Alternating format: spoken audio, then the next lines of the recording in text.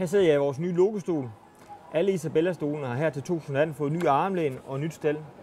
Logostolen øh, er i den samme farve, som, man, øh, som vi har haft igennem de sidste år i Isabella Møbelserien. Den her mørkegrå øh, farve, som øh, matcher stort set alting. Det øh, unikke ved logostolen det er, for det første så kommer den to udgaver over. En den høje model, som jeg sidder i her, igen med den her rigtig fine nakkepude her. Så kommer den i en øh, low back op, en low back også en lav model, som lige er en lille smule øh, kortere i ryggen, så der kan ligge øh, uden problemer inde i bagagerummet i bilen, hvis øh, man, øh, hvis man er, har behov for det. Og det unikke ved logostolen, jamen, det er, at den klapper fuldstændig sammen. Den fylder stort set ingenting, når du klapper den sammen. Super let at klappe sammen.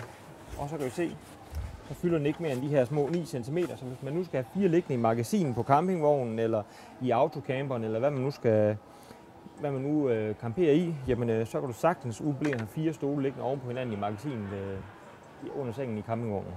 Og igen, super let at klappe ud. Det tager ikke mange sekunder. Og selvfølgelig justere bare i ryggen